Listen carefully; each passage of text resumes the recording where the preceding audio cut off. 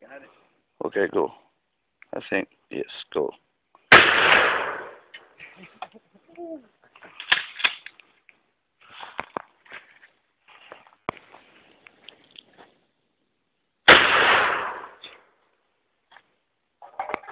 have got it. Did I shoot